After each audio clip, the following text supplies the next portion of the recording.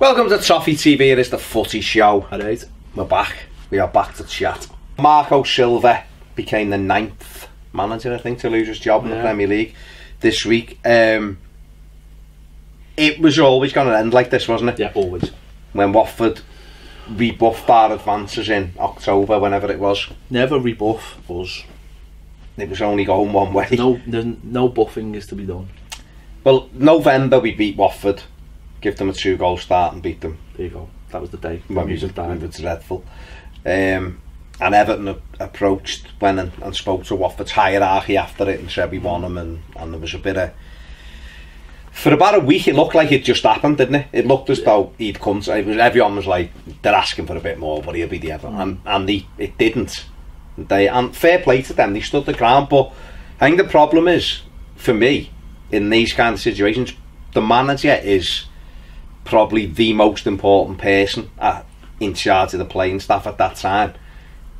And if that most important element of your playing staff turns around and says, "Yeah, I actually want to go there," now, Well, he was tapping his own players up. well, that's come out. But what I'm saying is, once your manager says, "I actually want to go manage them," why would you make him stay? Well, you've seen we've seen footballers, haven't we? Like footballers don't need an excuse to down tools. No. And um, they'll have played some of their players have played for a lot of managers. Yeah. One a season, now two a season. Um, so they're not asked because they just the way they look at it. There's a high at Watford. There's high turnover players and managers. It's the Mm. way it's run. It's it is the way it is. Um, so they, they they've got no loyalty to anyone. After at the end of the day, I know a few. I know Richarlison was a bit pissed off. He put his sad Yeah, he wasn't happy, was he? sign- for us. You're left footed. Yeah, Uh, you do a job for us. play left back. Um, play, can you play left back, son? Uh, I just, I, I just think, yeah, you're right. It's once, once that connection's being broke, like the manager has to go in and go, listen, lads, I'm managers. Mm. Come on, do it for the club, do Yeah. it for this, do it for that, do it for yourself. Um, I, I, I suppose so. So if he suddenly is do, doesn't want to do it, then they're just going to go fuck off. But I suppose the other thing is, if he's not truly committed, that that impact on his day to day management. So like, we knew that Koeman was like very much like a nine to five manager, whereas Moyes was a fucking like half six till half twelve, uh, like Yeah. last one, first one in, last one out manager, and that showed in everything that went on at the football club. Yeah, the yeah, standards were set. Um, Martinez in his first season was like that. Um, sta- he set Then he the got into Curry with his beard. Yeah. and that was it. he set the standard and and it all drips down from there. And I think Mm. that I don't I don't know whether that's had an impact on it you know whether you know whether um, he stopped doing the hard work but the trust factor would have gone wouldn't it with the players and with the owners? If he really wanted to leave and he wasn't allowed to leave then the trust factor's gone. And then he's probably seen someone come in and take that job and then there might be resentment to them for not allowing him to take that step up. So it's a funny situation because I don't know. I don't know where it's going to go. There's a lot of Everton fans saying well if he was your number one then go and get him or get him in the summer. Mm. but then isn't he tainted by the fact that he's been sacked by Watford. So if you're an, if I'm an Everton fan sitting here I am um, and I'm thinking well hang on. When we wanted him, he was the next best thing. He was the, you know, Pochettino Mark Two, and now I'm looking at him going, well, you got you Hull got sacked under you, and you've been uh, got relegated under you, and you've been sacked from Watford because you've gone into free fall. So suddenly he's, he's tainted by that. So I don't know whether So will you not touch him now in the summer? that's not my that's not my that's not No, but I'm asking you as an Evertonian. But I, I, again, though, I can't. I, I can't answer that question, and I couldn't really answer it when we wanted them because don't know how I don't know how a football fan can answer that question. I really don't. You can look at it and you can look at the results and go, "Well, he's done amazing there," but it doesn't always mm. work out like that, does it? You, you what I want is that the people who who who who are appointing these people don't just think he's the next shiny thing and they want him because they look at it the way he plays and style and feel like the place you've got at the club would suit the manager and the systems in place would suit that manager and I just I, that's what I that's all I hope for at Everton is that is that proper homework's been done because the guy they've brought in to replace him at Watford, I haven't really heard of him. He doesn't really stand out as a manager, hmm. but apparently, it's, well, at Malaga, his track record was, was really good. He beat all the hmm. big sides. He worked with no budget. Yeah, uh, you know, but how's he going to adapt to working in the Premier League? You know, we've just seen Lambert going to Stoke and everyone laughed at it. and He won his first game. Who's to say he's not the perfect fit for Stoke? Yeah, yeah. So it, it's really hard to say. We've seen people who failed in numerous jobs, but almost like the failures were experience. Do you know what I mean? I think sometimes I think this is a problem, right? In all, in all, in everything, right? Sometimes I think in football it, it's it's a it's a weird one, right? And it's in. Do you know like in boxing, right? Not being beat's really important, right? It's like having that zero. Hmm. You know, it's all about the win column and it's all about that. And then you look at something like UFC, and if they get beat, they get beat, and they go, "Well, I'm course I'm going to get beat, aren't I? You're going to get beat now and again." And the it seems like they go, "I was, I'll take, I'll, why did I get beat? I'll take the, I'll find out what the, my failures were, and I'll go and take that." And we don't really have that in football. Don't get me wrong. If, if you get, if the manager is losing his job again and again and again, but we don't really. I don't know if, as a fan, we look at it and go, "Well, you know what." he did a terrific job there, but everything was against him and he lost his job. And I'm- if he's learned from that, I think we need that a little bit of that in football. Who's to say Silva and playing devil's advocate hasn't, you know, has been had decent success. Even Hull, he nearly kept them up. It wasn't really his fault, mm. and he's took something from that. And let's say he goes comes from Watford and he becomes the Everton manager. And he goes, you know what, I failed there for this reason, that reason, that reason. I'll take that into my next job to get better, surely you've got to fail somewhere down the line. You know, Mourinho, hasn't been all smooth everywhere he's gone. but it hasn't sort of like tainted him. Well, he got, he got, I suppose he got sacked at Chelsea. They were 15th he was sacked twice. as champions. Yeah. Maybe. Pep Guardiola they couldn't win the Champions League at Bayern Munich. Now that would be seen that could be seen as failure. And a lot of hmm. people did see it as failure. And then the next and then, you know, Bayern Munich at beginning of this season have, have really had really struggled. So it's like Pep Guardiola comes to Man City and goes, Well why did I fail at Bayern Munich to win that trophy? What do I need to do now to change that? What do I need to do? I won the league, but that's not really. I was always going to win the league. I wanted the Champions League, and I never did it. What's made? What has made that? Do you know what I mean? And I think, I think that's where you've got to be a little bit pragmatic. People are going to lose games. They're going to, they're going to get sacked now and again. You've, it's whether that person can can come in, I, I, and that's not my decision. Do you know what I mean? That's look at Koeman. Koeman has this sort of bounce factor. He's like, you look at all his managing job, does really well for a club, so he goes to another club and doesn't do so well. So he'll, he'll go somewhere else, which is a little bit smaller, hmm. and do really well, and then go somewhere else. And he's done that all his career. He's had a smaller job, which has led to a big job. That's and he's been sacked, led to a smaller job, done really well, gone to a big, and he's done that all the way through his career. And it's like, has he learnt anything from the experiences? It doesn't seem like he has. Hmm. Whereas other managers will. Pochettino's when he's at Espanyol, he did he was did okay, but it was all it was all all building, hmm. all building to go up, up. What have you learned? What have you learned? What have you learned? What have you learned? And I Do you think think we judge, well, I think you're saying we do, but we judge managers, the failure too, too harshly? Because if you look at I think the likes of Klopp, Klopp was relegated and sacked from Mainz when he was Yeah. the manager. Um, other managers have been sacked. It, it, I suppose the more it's not you're around, you get. Do you know where it's? Do you know where it's more applicable in this country? It's more applicable for our lower league managers because what happens is our lower league managers do all that, bounce around, go from what, but they, and they, they do that because they never get a chance. No one ever gives them a chance to step up. I mean, look at the Sheffield Wednesday manager, uh, the ex Sheffield Wednesday manager, now the uh, Swansea manager. Carvalhal. Carvalhal was doing an okay job at Sheffield Wednesday. Yeah, and yeah. then whatever happened happened, and he ends up getting the sack, and then he gets a job at Swansea, and everyone looked at it and gone, "Now he's took seven points out of his first five games, Hmm. right? So he's done he's done okay so far, Yeah. right? Now who's to say his failings at his failings at Sheffield Wednesday haven't been the catalyst for what he's doing at Swansea? So you've got to sometimes look, failure's not not a terrible thing.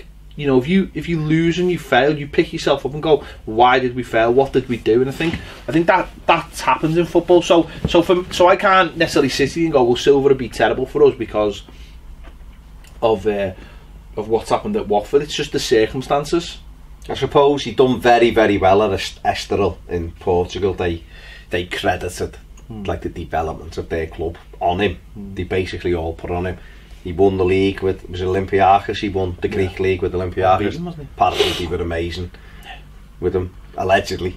I know it's Greece and, and probably they love Morales, so Yeah. you've got to take that with a pinch of salt. So suppose he's got he's got the success to go with Yeah. obviously the failure. I mean he come into Hull, they had like 14 players or something and they had hmm. about four points didn't he at Christmas last year. They beat United, Liverpool and Yeah. you know I think he won six games or something like that, seven games and oh no eight games he won didn't he and almost kept them up. Almost kept them hmm. up. Ultimately they went down and then he got the job and I think the Watford they were playing fantastically well and I saw them down at Chelsea and they absolutely destroyed Chelsea. Yeah. They were 2 1 up, it should have been about 6 1. Hmm. That Richarlison missed about three Yeah. open goals, it would have been game over, and he ended up collapsing in the last Yeah. 20 minutes. So I suppose that, to me, I, I just think what where Watford went wrong was as much as it would have pissed them off. I don't uh, see if a player comes to you as a manager and goes, "I want to move to Everton." Yeah. Everton want me and I want to move, and you go, "You're not moving mid-season. Yeah. We want you till the end of the season. If Everton are still interested in the summer, we'll sell you, but you're not Yeah. going. You're integral." He might sulk for three games, but then ultimately he's in the game. Mm. He's playing the game, and it's about his reputation. I think if a manager does Mm. it, because he's the the players will. You're right. The players will start looking and going, is this heart really in Yeah. this? You know, and they've probably lost a couple of games that would that anyone could lose, and but then the players start going, mm, and then his enthusiasm, like But you also- said, might have dropped a bit. But also, the Watford And the one he's got, there's The- about you know, nine players out there will be a drop off. well. There will be, you know, look look at like Bailey. Bailey, No Christmas. Oh, we're going for the top four. Mm. Yeah. They're in eighth now, and they might they might drop a little bit lower. Mm. It happens. You know, Huddersfield had a great start. Brighton had a terrible start, then bounced up, and then Mm. it happens. They're not. They're not. They, you know, it, it, it's hard to keep the momentum in the Premier League unless you've got the you know the a, a real good squad. So it happens. I just think that I, maybe, and the other thing about it is, right, maybe he looks at it and goes, I've got a way of playing footy, right, and I'm trying my best at doing it, and I just don't have good enough players. Mm. So, I mean, look at look at Martinez, right? Martinez is almost like the higher he goes up and the better players he gets to work with, the more his philosophies are going to work, Mm. right? And that that sometimes happens. I mean, look at the guy who's in charge of Barcelona. fucking piss in the league. And he was like, well, there, no one knew who he really was. He was a good manager, but he wasn't like a standout in a big mm. shiny, mm. wasn't a big shiny career or anything. And you look, at, so you just, he might, he might get the Everton job. And, every, and he goes, you know, I've got better players to work with now. And a bigger budget. You know, my, my philosophies are going to work sound here. You know, I, I I like to attack. I also like to defend. Unfortunately, we didn't have the um, the squad or the depth of squad for it to work. It did at first, but then we started, and With the few injuries, players weren't learning the lessons and all those things, and that's they're the things I'd rather you gauge a manager on rather than going, "Ooh, he's the new shiny thing." Mm. And that's that's the only thing with Silva. That's that's the because all his critics now will go, "Oh, you see, he failed," you know, we'll wait, we'll wait and see. I mean, is he? I suppose I'm not going to make this about Everton, but just while he's on it, just because we're talking about him, is he the is he the type of say you were looking for like an E fit to be an Everton manager? He's forty, so he's young. yeah, He's obviously hungry, wants to do well. Is he the type of manager you would like to see the club employ if he's got that, I that want plan and yeah. that burning desire? I want a manager to come in, and I'd want this at any club that has got a philosophy that is that that I'm, I might contradict myself here with Martinez, but a philosophy that he sticks to and the the club adhere to, and go and buy players on that. And the, but the philosophy has to be solid. Mm. It has to be it has to be built on solid foundations. Where with Martinez, it felt like it was built on sand because he didn't bother to get the defence sorted, mm. and he wouldn't sort the goalie out. So it was always built on sand, and that was our biggest problem with it. Yeah, yeah. It was it was it was you could see what the ethos was, and you knew with better players. But and he want and he wanted John Stonesy type players, but to have John Stonesy type players. Uh, Man City don't have two John Stones; they have one and a solid centre back next to him. Yeah. Whereas he was like, "Well, I'm going to have John Stones and then some ass next to him." Didn't quite work. So that's what you want. You want a you want an ethos that works, that you can see where it's going, and there will be ups and downs. Of mm. course, they will, but you're going in the same direction, and that's all. That's all I would want as a, as a football fan. That's all I do want as a football fan is a long term goal that I like. Ma, it's it's sad because Moyes sort of had a long term thing. Yeah.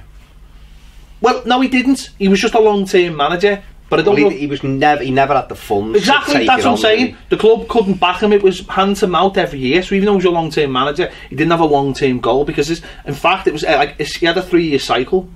Yeah. because of because of play recruitment. So I would just like to see that Ev- Everton or any club would bring in a long term manager who the ethos is there, the club back it, they're all going in the right direction. They buy players, then they buy better players and better players to play that way.